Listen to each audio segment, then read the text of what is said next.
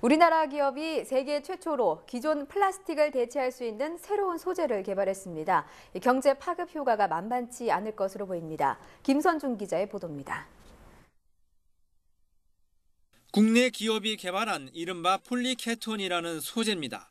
산성 용액에 담궜더니 가장 강하다는 고강도 플라스틱은 쉽게 녹아내렸지만 폴리케톤은 변함이 없었습니다.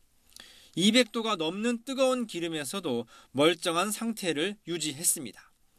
업체는 지난 1938년 나일론이 개발된 이후 75년 만에 새로운 플라스틱의 시대를 열었다고 평가했습니다.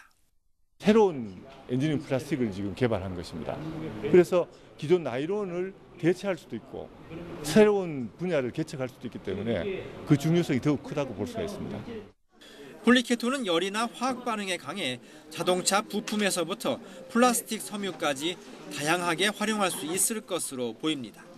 단단하고 질기고 또 잘 깨지지 않는 이런 그 여러 가지 특성들이 있기 때문에 앞으로 그 전개의 그런 어, 범위로 보면은 아, 굉장히 그 무궁무진하다고 이렇게 볼 수가 있겠고 업계에서는 폴리케톤이 본격적으로 생산될 경우 경제 파급 효과가 10조 원에 달할 것으로 전망했습니다. YTN 김선중입니다.